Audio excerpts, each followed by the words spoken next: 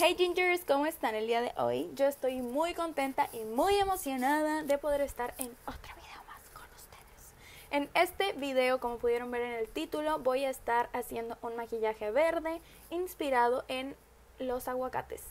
Esta va a ser una nueva sección en el canal donde ustedes me van a ir diciendo conforme yo les vaya preguntando en Insta. Les voy a estar preguntando qué maquillaje quieren ver, inspirado en qué comida y así lo vamos a hacer pues así vamos a hacer una sección de maquillaje inspirado en comida. Espero que les parezca interesante esta idea. A mí la verdad sí, porque no sabía que era capaz de hacer un maquillaje verde sin que se vea feo. Y creo que a mí sí me gustó este maquillaje, está diferente, algo que yo nunca hubiera hecho y ustedes votaron por este maquillaje. Así que pues sí, espero que les guste este tutorial. Me digan qué onda en los comentarios. Si quieren ver cómo lo hice, solo sigue viendo. Y bueno, Gingers, Solamente les quería decir antes de empezar este tutorial que uh, este maquillaje está inspirado en un aguacate, en los aguacates. Yo les hice una encuesta en Insta que por cierto, si no me sigues, pues ve a seguirme, te dejo acá mi nombre de usuario para que me vayas a seguir y tú también seas parte de las personitas de los gingers que votan pues qué video quieren ver próximamente o cosas así. Entonces yo hace una hora creo les hice una encuesta de qué tutorial preferían, si inspirado en una zanahoria o en las zanahorias o en este inspirado en aguacates. Y como pueden ver ustedes votaron por el de aguacate.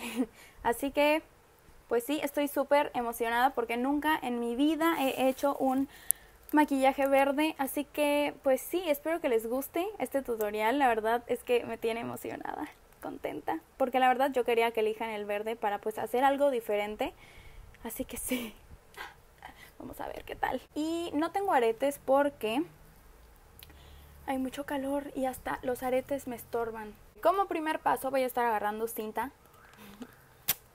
Esto es totalmente opcional, pero yo lo hago para que queden parejos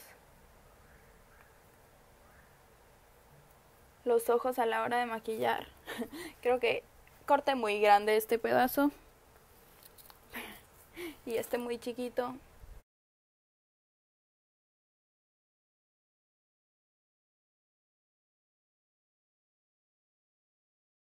Creo que ahí están como parejos. Como era de esperarse para este tutorial... Ah, me está lastimando esta cosa. Para este tutorial voy a estar usando la paleta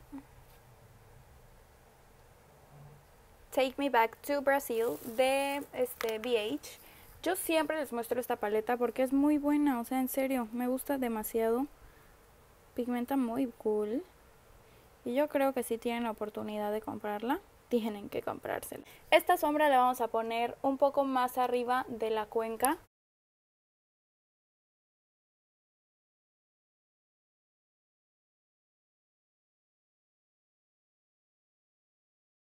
Recuerden que es muy importante difuminar para que se vea pues mejor el maquillaje y no parezcan parches.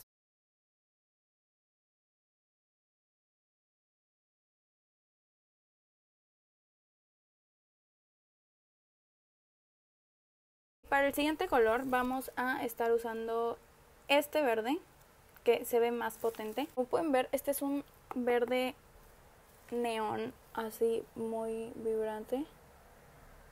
Ah, este lo vamos a aplicar en la cuenca nada más, pero solo para hacer como un degradado.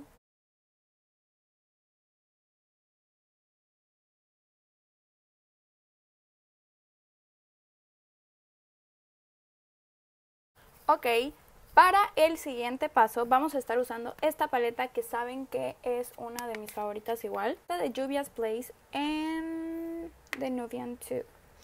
Esta nos va a ayudar con esta sombra. Esta sombra igual es una de mis favoritas, pero no la uso mucho por lo mismo porque es verde y porque nunca me maquillo con tonos verdes. Esta sombra la vamos a llevar en todo el párpado pero igual vamos a hacer que se combine con las anteriores con las que ya hemos puesto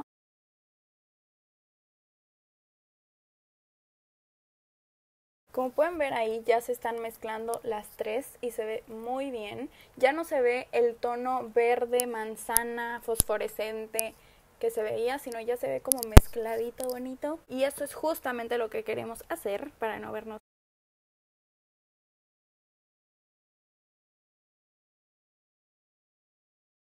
Y así es como nos está quedando. Y como pueden ver, la cinta igual nos ayuda muchísimo por el el polvito que se va cayendo. Ok, como esta sombra que pusimos, la última que pusimos, tiene, es como metálica, pues ya no voy a aplicar otra sombra verde con brillos u otro, otra, otros brillos verdes. Lo que voy a hacer es que voy a agarrar otra sombra de esta paleta. La sombra que vamos a estar usando va a ser Suri, que es esta, esta como iluminador. Ah, está muy, muy cool. Así que, bueno, ahorita se los voy a mostrar. Así que sí, esta es la que vamos a estar usando para el centro y para dar luminosidad a los ojos. Y que no se vea como muy plano. Hay talento, solo falta apoyarlo. Un truco que yo siempre se los digo y se los repito y seguro ya están hartos de escucharlo es aplicar a una brocha plana Fix Plus de MAC o cualquier sellador este nos va a ayudar a que la sombra pigmente más, a que los brillos te dejen ciegos. Y esta solamente la voy a aplicar en el centro, así como lo estoy haciendo.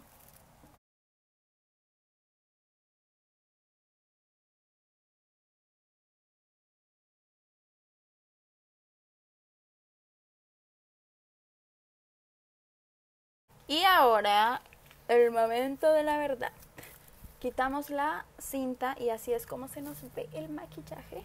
Y con esta brochita que tiene polvo translúcido, súper poquito sin recargar, porque yo utilizo esta brocha para sellar el corrector. Antes de poner las sombras, solamente voy a quitar el exceso de sombra que nos quedó y también como para bajarle la intensidad al pegamento de la cinta. Creo que lo mejor de hacer tutoriales es que junto con ustedes voy aprendiendo cosas nuevas, voy experimentando diferentes cosas y al final pues ya me va gustando lo que hago. Y ahora voy a pasar ya con la carita, la cara, la cara, la cara. Y para base voy a estar utilizando una que ayer me compré, ayer la probé y de hecho les grabé un video, pero no me gustó y lo terminé borrando. El caso es que esta es una muy buena base, que si tú tienes piel de mixta a grasa o cualquier tipo de piel, yo creo que te funciona increíble. Si tú eres tan fan de los videos de belleza, de maquillaje y todo eso, obviamente ya la conoces. Esta es la Super Stay Full Coverage apto para piel mixta a grasa. 24 horas de Maybelline New York. Esta base, wow, o sea, no, no entiendo cómo puede ser tan buena. Me encanta que tiene pump es pues más higiénico. Y para que se den una idea, yo lo tengo en el tono 312 Golden. Que ayer me compré esta, ayer la probé, me enamoré, me encantó y pues sí, se los recomiendo muchísimo.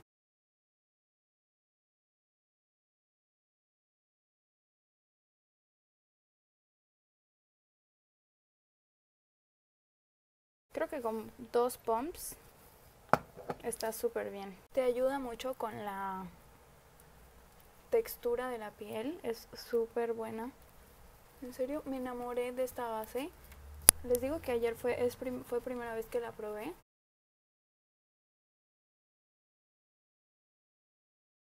Vean la cobertura que está súper cool.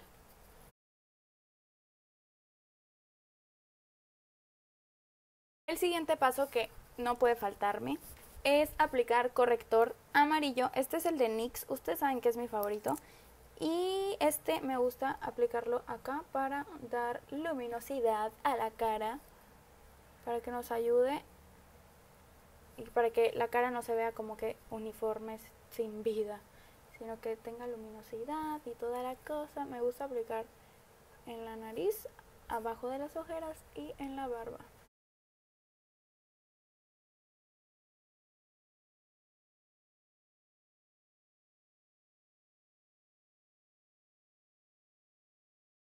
Ahora con este polvo de Lore, este polvo me gusta mucho porque matifica súper bien, te deja la cara súper suavecita. Pero lo único que no me gusta es que hace mucho flashback, horrible, horrible, horrible. por eso no lo uso tanto. Pero me gusta para los videos, porque obviamente después de los videos me desmaquillo y ya. Pero para salir la verdad no me encanta este polvo.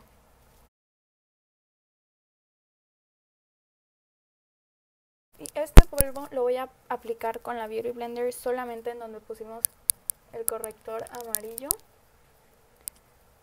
Y también lo vamos a aplicar en toda la cara, pero lo que nos quedó del polvo. No voy a recargar más. En la frente sí, tengo que recargar porque mi, mi frente es muy grande para, para sobrevivir a no recargar polvo. Ahora para devolverle el volumen y las cosas que nos hacen que la cara no se vea plana. Voy a estar usando este polvito de Ellie Girl, que saben que me gusta mucho, para definir la cara.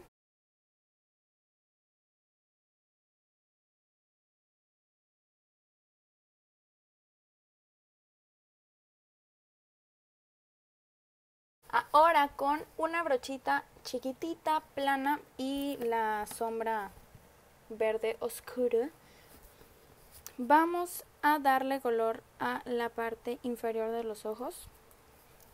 O sea, acá.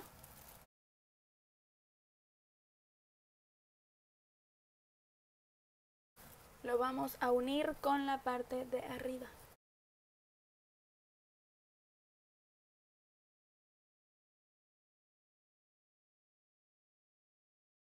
Para rubor voy a estar usando este de MAC, que es mi favorito, pero ya está literalmente muriendo. Este es en el tono Peaches.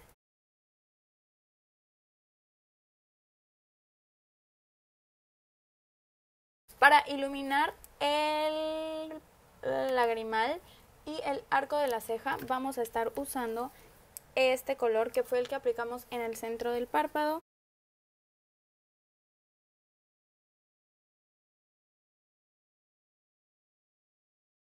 Y sin recargar producto vamos a llevarlo acá. Yo esto antes no lo hacía porque no me gustaba pero siento que ahora si no lo hago se ve muerto el maquillaje. Ahora con la misma sombra con esta vamos a iluminar las partes altas del rostro o sea donde normalmente aplicaríamos iluminador Esta sombra es súper cool como iluminador. Ahorita no se ve tanto porque el sol no, no me está reflejando mucho. Y pues como penúltimo paso voy a estar aplicando rímel. Recuerda que si tú quieres aplicar pestañas postizas el look se va a ver mil veces mejor. Pero como a mí no me gusta porque primero me tardó mucho. Segundo, hay muchas que no nos bueno, que no les gusta o que no saben ponerse y no sé qué. Y pues me gusta no aplicar pestañas postizas para que vean que igual se ve súper bien sin pestañas postizas o con pestañas postizas o como sea se ve bien. Y con ayuda de mi rímel favorito, que es este, vamos a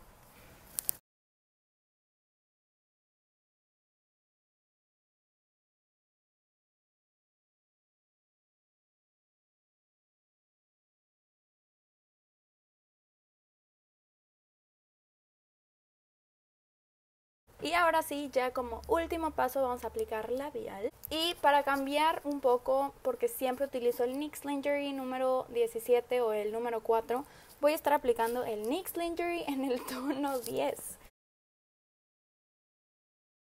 Y bueno, Gingers, esto ha sido todo por hoy. Espero que les haya gustado muchísimo este maquillaje. La verdad se me hizo muy interesante probar pues con el color verde porque como les dije durante el video yo no soy nada de utilizar este tipo de colores, pero bueno, si quieren ver más de esta sección de maquillaje inspirado en comida, díganme en los comentarios qué comida creen que sería bueno recreado en un maquillaje. Espero que les haya gustado y si fue así, no se olviden de darle like manita arriba o me gusta, suscribirse para que sean un ginger más en mi corazón y activar las notificaciones para que seas la primera o el primero en ver los nuevos videos. Esto ha sido todo y nos vemos en el próximo. Bye.